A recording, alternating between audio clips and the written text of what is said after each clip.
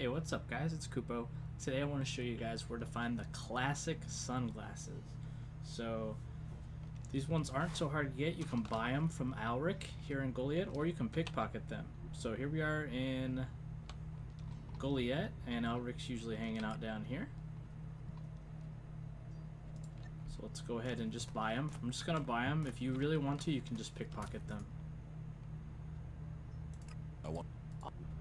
So right here, classic sunglasses.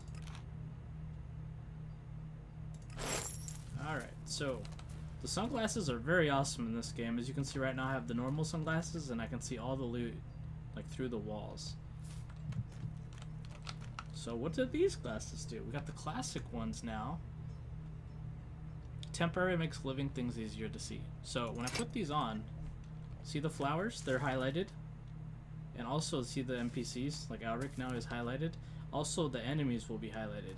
So it just makes uh, as it says living things easier to see. So I guess if you're looking for flowers and stuff these are pretty useful. So yeah I think the regular sunglasses will be a better preference for me but it's just good to know that you can find these too. So yep classic sunglasses. There you guys have it and as always, like, comment, subscribe. I'll see you guys in the next video.